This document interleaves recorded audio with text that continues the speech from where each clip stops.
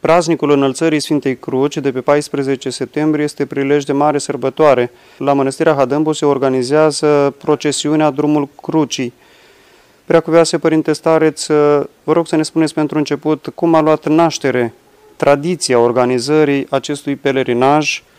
aici la Mănăstirea Hadâmbu din Dealul Mare. Dar în ultima vreme a luat o mare amploare, ea că sunt, dacă nu mă înșel, al 14 an, când parcurgem drumul Crucii, de la Poarta Bucuria Crucii până la 14-a Troiță, cum a luat amploare. Dorința mea personală a fost, știind în trecut cât de greș cu nevoie se urca uh, până la mănăstirea, uh, Sfânta Mănăstirea noastră, chiar și eu personal, când am venit prima dată, urcam pe jos, aproape de la Mogoșești până în Dealul Mare. Am considerat, după o vizită în Țara Sfântă, că am spus-o, repet, iarăși mă reîntorc, că bine ar fi ca în dealul acesta, ca Maica Domnului să ne numere pașii care îi parcurgem, așa că uh, am considerat, rugând pe fiii mei duhovnicești, ca să formăm acest drum al crucii, adică să ridicăm aceste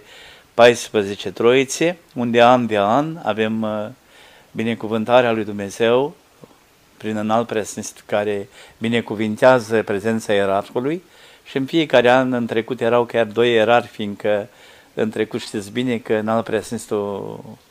Părinte Arhiepiscop Calinic al Scebii Rădăuțului, în alt preasfințitul Joachim Giasano Băcoanu, da, a sfințit cele 14 troiții și au venit împreună. Acum a rămas, așa rândește Dumnezeu, în fiecare an în alt preasfinț ne binecuvintează cu un arhereu, un erar. Data aceasta va fi preasfinț Părinte Episcop Antonie de Bălți, Basarabia de Nord. Este, sunt aceleași emoții, uh, trăiri, atât la pelerini cât și la credincioși. Uh, mulți credincioși pelerini uh, doresc foarte mult să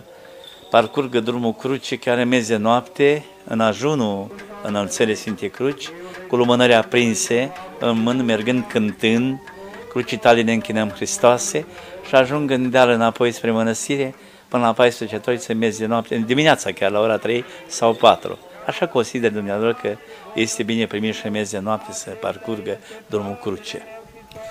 Să facem un pic referire la programul liturgic uh, dedicat uh, acestei uh, sărbători, începând cu ajunul acestui praznic pe 13 și continuând cu ziua de 14. Programul liturgic de data aceasta va fi mai de dimineață, fiindcă ținând cont că avem de parcurs totuși de urcat dealul, parcurs drumul cruce, în ajunul înălțării Sfintei Cruci, după rânduiala Sfintei noastre mănăsiri, la fiecare eveniment știm că scoatem în procesiune de nou Sfânta Icoană Făcătoare prin mulțime de pelerini, care se perindă să închine la Sfânta Icoană Făcătoare de Minuni, la ora 18 vom începe vecernia, 19.30 scoaterea în procesiune a Sfintei Icoane Făcătoare de Minuni, în conjurul Bisericuța Monument, apoi rostim câte o ectenie, cuvântul de învățătură de la urmă, mes de noapte, utărenia de noapte și a doua zi, de data aceasta, spuneam că este primirea ierarhă mai de dimineață, când spun mai dimineață, însemnând la ora 8 și un sfert. Vom întâmpina pe Preasfințitul Părinte Episcop Antonie de Bălți la ora 8.30 Sfânta Dumnezească Liturghie și cred că vom coborâ cu toți credincioșii, slujitorii care vor sluji în sobor, parcurgând drumul cruce de la poarta Bucuria Cruce până la 14 Troiță, la ora 10.30 vom începe procesiunea drumului cruce. Iar după ce vom parcurge drumul cruce, toți pelerinii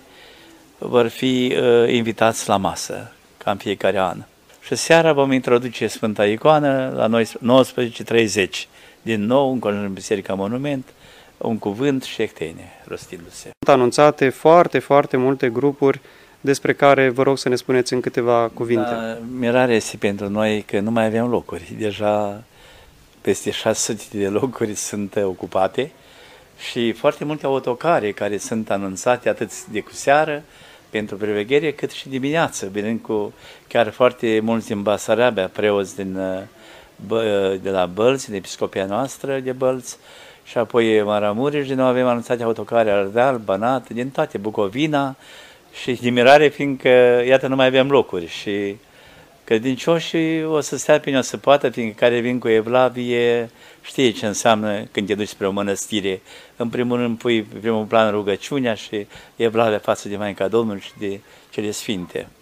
Preacuvioase Părinte, în final aș dori să adresați un cuvânt de binecuvântare pentru toți uh, credincioșii care doresc să participe și care vor fi prezenți la frumoasă sărbătoare închinată Sfintei Cruci aici la Mănăstirea Hadâmbu în contextul sărbătorii din acest an. M-am gândit și la asta, deși eu m-am stărit câțiva ani de zile venind la Mănăstirea Hadâmbu, neavând unde să-mi plec capul, n-am avut puterea financiară, materială, dorința mea a fost să mă închin la Sfântul Mormânt și m-am gândit deseori în locul meu ce ar fi făcut alții care n-au această posibilitate financiară, materială, să ajungă în Țara Sfântă și iată m-am străduit după o tradiție veche a Sfintei Mănăstirii Hodoș Bodrog, care este prima mănăstire care are acest drum al crucii, care a fost viețuitor